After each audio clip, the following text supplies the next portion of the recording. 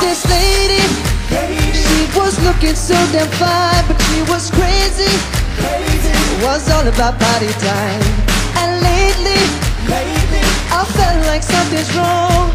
So flaky and shaky. When the sun